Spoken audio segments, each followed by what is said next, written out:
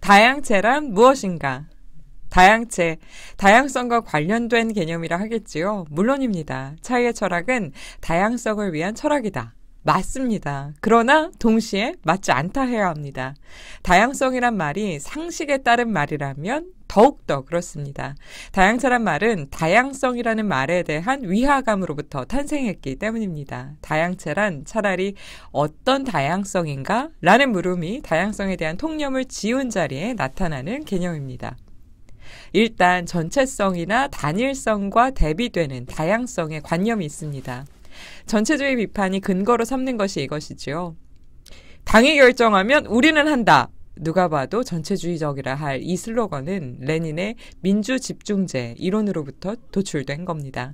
하지만 그 이론도 의견의 다양성, 토론이나 논쟁의 자유를 말합니다. 다만 토론이나 논쟁 이후의 결정에 대해서는 복종할 것을 요구할 뿐이죠. 반대로 자유주의는 다양성의 보장을 최고의 가치로 여긴다고들 합니다. 그러나 자유주의자라도 다수가 모여 무엇을 하려면 결정을 해야지요. 이를 위해 토론을 하고 투표를 합니다. 다수의 지지를 얻은 것이 결론으로 결정되지요. 패자의 미덕은 그 결정에 승복하고 따르는 겁니다. 토론과 복종이라는 레닌의 주장과 얼마나 다른가요? 공상당 중앙 역시 표결로 결정합니다. 대중이 표결에 직접 참여하는가 여부가 양자를 갈라주지도 못합니다. 대표를 선출해 표결로 결정하는 대의제를 만들어낸 것은 자유주의자들이었죠. 더욱 난감한 건 의견을 모을 것도 없이 각자 자기 뜻대로 하는데도 놀라운 통일성을 보여주는 경우입니다. 검은색 옷이 유행할 때 핫한 거리에 나가보세요. 개성에 민감한 분들이 모두 검은색의 비슷한 옷을 입고 다니죠. 욕망의 다양성을 말하지만 다들 비슷한 상품을 선망하고 취향의 고유성을 주장하지만 남들 보는 드라마를 보고 남들 듣는 노래를 듣습니다. 심지어 자기 세계를 추구한다는 예술가도 유행하는 사조를 따라 그리고 만듭니다. 합의도 승복의 서약도 없는 이 놀라운 통일성은 다양성보다는 획일성에 더 가까이 있습니다.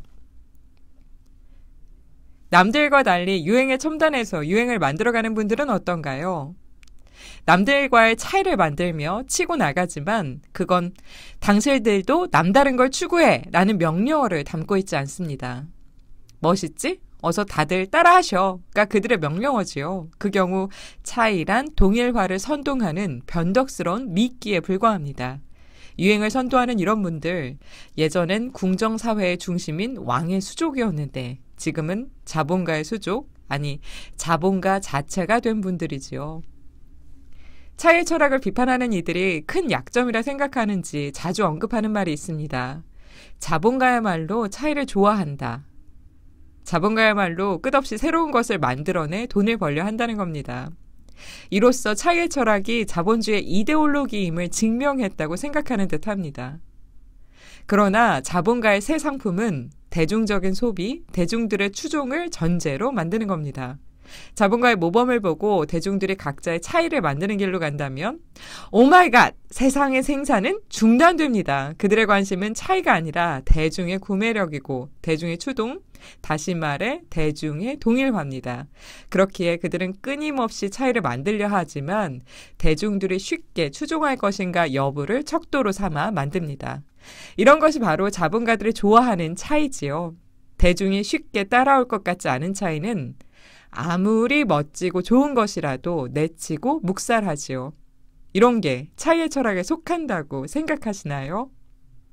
과 하나의 결정을 통합하려는 이러한 방법을 철학자들은 다자와 일자의 통일이라고 합니다. 어느 경우든 차이나 다양성은 지배적인 하나로 귀착됩니다. 이런 통일 속에서 다양성은 사실 하나의 신하들일 뿐입니다. 일자는 다자고 다자는 일자다라는 변증법적 명제에 대해 정작 중요한 것은 잡지 못하는 성긴 그물이라고 들레즈는 비판합니다. 좀 더 강하게 말하자면 통일이라는 말을 미끼로 다자들을 일자에게 잡아 바치는 나쁜 그물입니다. 다양체는 다양성을 사유하려는 개념이지만 그러기 위해서라도 이런 종류의 다양성과 결별하려는 개념입니다. 다양체 개념으로 들어가려면 또 하나의 문을 열어야 합니다. 다양체는 주어진 것들의 다양성이 아니라 만들어가는 차이의 작용과 관련되어 있기 때문입니다. 두 개의 영어 단어를 비교하는 것도 좋을 것 같습니다. diversity와 variety가 그것입니다. 알다시피 variety는 very라는 동사로부터 파생된 말입니다. 반면 diversity는 동사적 뉘앙스가 없는 명사인데 diverse라는 말로부터 파생된 말입니다. 이 diverse라는 말에 대해 들레즈는 차이는 diverse가 아니다라고 명시적으로 말합니다. diverse는 주어진 것이 풍부함을 뜻하는 말인데 차이의 철학의 관심사는 이처럼 만들어진 차이의 풍부함이 아니라 현재 상태를 어느새 다르게 만드는 차이이기 때문이지요. 이런 점에서 보면 동사적 의미를 함축하는 variety가 diversity보다 다양체와 훨씬 가까이 있습니다. 다양체란 말에서 중요한 것은 다른 의견이나 성질이 얼마나 많이 있느냐가 아니라 어떤 것이 변이, 즉 variation의 과정 중에 있는가 하는 겁니다. 많은 것이 나열되어 있는 게 아니라 하나라도 그것이 변화 속에 있는가 멈추어 있는가가 바로 문제라는 겁니다. 이를 철학적으로 부각시켰던 것은 베르고송이었습니다. 그는 양적 다양체와 질적 다양체, 연장적 다양체와 지속적 다양체를 대비하여 구별합니다. 종소리를 들으며 몇 번째 치고 있는지를 살 때 우리는 치는 소리에 공간적 간격을 도입해서 소리의 지속을 분리합니다. 치는 소리는 크든 작든 높든 낮든 횟수만 세워집니다. 음질이나 음량의 변화도 무시됩니다. 동질화된 채 숫자만 세워지는 거죠. 그래서 이를 양적 다양체라고 합니다. 반면 바흐의 푸가를 들을 때 우리는 소리들을 분리하는 게 아니라 지나간 소리도 끌어당겨 결합하여 듣습니다. 다른 음고와 음가를 갖는 소리들이 서로 수축되어 하나로 결합될 때 소리는 선율이 됩니다. 여기선 소리의 횟수가 아니라 소리가 모여 만드는 선율의 질이 중요하지요. 그래서 질적 다양체라고 합니다. 하나의 연주 자체가 다양성이 살아있는 다양체인 겁니다. 질적 다양체에서 소리의 강약이나 길이, 음색은 한순간도 멈추지 않고 지속적으로 변합니다. 이 변화에 의해 그 변화를 만드는 연주자의 능력에 따라 곡은 다른 다양체가 됩니다. 곡 도 소리도 모두 지속적 다양체라고 하겠습니다.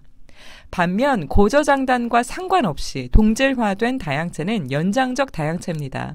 변화 양상이 삭제돼서 동질적 부분들의 연장이 된 다양체란 뜻이지요. 반면 지속적 다양체는 상이한 것들의 지속적으로 달라지며 섞이기에 분할할 수 없을 뿐만 아니라 분할하면 각 부분이 결코 동질적일 수 없는 다양체입니다. 하지만 질과 양, 공간과 시간의 대비는 들레저에겐 충분하지 않습니다. 그가 보기엔 질이란 강도들의 분포에 의해 만들어지는 것이기 때문이죠. 공간 또한 연장적 공간만 있는 게 아니라 강도적 공간도 있습니다. 수정란의 표면이 그렇지요. 이렇듯 양적이면서 강도적인 공간까지 다루기 위해 들뢰즈는 리만의 다양체 개념을 도입합니다. 리만은 비유클리드 기하학을 일반화하여 다양체 이론을 창안했습니다.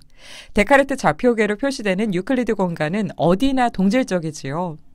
길이나 면적이나 20은 10의 2배, 5는 4배입니다. 둘로 나누면 동일한 10짜리 도형 둘이, 4로 나누면 동일한 5짜리 도형 둘이 나옵니다. 동일한 단위원을 척도로 하는 좌표계는 그 안에 있는 모든 것을 동질적 연장으로 만듭니다. 이를 기준으로 공간 안에서 도형이나 입체 길이, 면적, 부피 등이 계산되고 비교됩니다. 그런데 휘어진 공간의 경우엔 이게 잘 통하지 않지요. 지구본에 그린 정사각형 면적을 평면에 그린 것과 같은 방법으론 계산할 수 없지요. 공간이 휘어진 정도를 곡률이라고 하는데 곡률이 달라지면 좌표축도 휘어진 정도가 달라집니다. 곡률이 커지면 직선적 좌표계에서 계산한 것과의 편차가 더 커집니다. 좀 더 난감한 경우는 곡률이 일정하지 않은 경우일 겁니다. 이런 공간에서 계산을 하려면 미시적인 스케일로 달라지도록 계산의 척도를 바꿔야 합니다. 즉, 계산의 척도 자체가 연속적으로 달라집니다. 여기선 미분적인 스케일의 미시적 척도를 사용합니다. 들레즈는 리만의 용어를 약간 바꿔서 유클리드 공간처럼 하나의 척도를 가지며 모든 부분이 동질적인 다양체를 이산적 다양체라고 합니다. 반면 미시적 척도가 연속적으로 달라지는 다양체를 연속적 다양체라고 합니다. 척도가 그대로인 채 수나 종류가 늘어날 뿐이라면 아무리 많아도 그건 모두 척도 안에 갇혀 있습니다. 그게 그거인 다양성입니다. 화폐라는 척도에 매어 있는 한 친절함도 상품의 일종, 즉 서비스일 뿐이죠. 선택의 척도가 동일하다면 선택지가 3개든 300개든 동일한 결과에 귀착됩니다. 질적으로 다른 선택지들이 있다고 해도 그 질이 더 이상 변하지 않는다면 그거 역시 이미 주어진 것 안에 갇힌 선택일 뿐입니다. 중요한 것은 분할할 때마다 달라지고 더하거나 뺄 때마다 척도가 달라져야 한다는 겁니다. 선택할 때마다 변화가 발생하는 것, 선택 자체가 변화를 만드는 겁니다. 말단에서의 변화가 중심으로 치고 들어가고 척도마저 바꾸는 것. 모든 변화가 척도 자체를 잠식하는 것. 이것이 다양체 개념이 겨냥하는 겁니다. 여러분은 어떤 다양체 안에서 선택하고 욕망하고 결정하고 있나요? 이것을 물어야 한다는 겁니다. 들레즈의 다양체 개념은 동질화될 수 없는 변화의 지속적 다양체와 척도 자체가 가변적인 연속적 다양체가 만나는 지점에서 탄생합니다. 이 다양체 개념에서 강도는 매우 중요합니다. 강도의 변화가 슬그머니 척도를 바꾸고 본성마저 바꿀 수 있기 때문이지요. 연주자가 만드는 소리의 강도가 정해진 악보의 곡을 아주 다른 곡으로 만들지요. 요리에 섞여드는 짠맛, 쓴맛 등의 강도가 훌륭한 요리와 끔찍한 요리의 차이를 만들어냅니다. 아주 빠른 속도, 즉 강도는 운동하는 비행체 안의 시간, 척도를 느리게 가도록 바꿉니다. 상대성 원리란 중력과 가속도가 같다고 하는 가정을 뜻하는데 중력을 가속도라는 강도로 재정의하는 겁니다. 그런데 중력이 큰 별이나 블랙홀은 공간을 휘어지게 만듭니다. 강도가 척도를 바꾸고 연장적 공간을 강도적 공간으로 바꾸는 겁니다.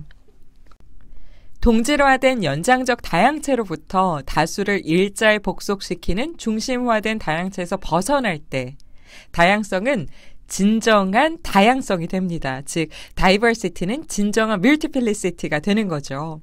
이를 위해 들레즈는 일자를 미분적 크기로 축소하거나 아니면 아예 제거하자고 합니다. 이념이라는 미시적 일자를 통해 다양한 양상으로 구성되는 다양체, 혹은 단일한 중심이나 일절을 제거하여 무언가 더해지거나 뺄 때마다 전체가 달라지는 리좀적 다양체가 그겁니다. 들레즈는 모든 것을 이런 다양체 개념을 통해 사유하고자 합니다. 모든 것은 다양체다. 심지어 다자도 다양체다. 일자도 다양체다.